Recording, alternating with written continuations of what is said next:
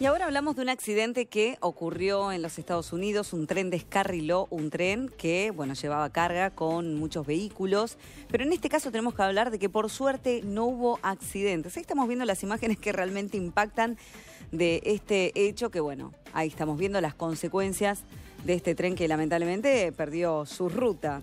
Un tren de carga de la compañía BNSF se descarriló en Flashgat una ciudad de Arizona en Estados Unidos. Tras el accidente, la empresa informó que no hubo heridos ni fallecidos, ya que el vehículo trasladaba simplemente autos y camionetas nuevas listas para la venta, lo que debe haber quedado ¿no? de eso.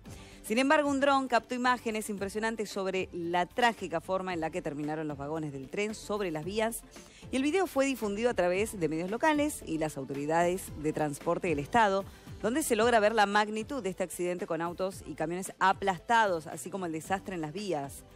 El tren iba a una velocidad de 80 kilómetros por hora cuando ocurrió el accidente y al parecer se habría estrellado directamente con otro tren de carga que se había quedado atrapado en la vía. Por suerte y debido a la hora y la ubicación en la que ocurrió este accidente, no hubo que lamentar víctimas ni daños personales, por supuesto que daños materiales y muchos.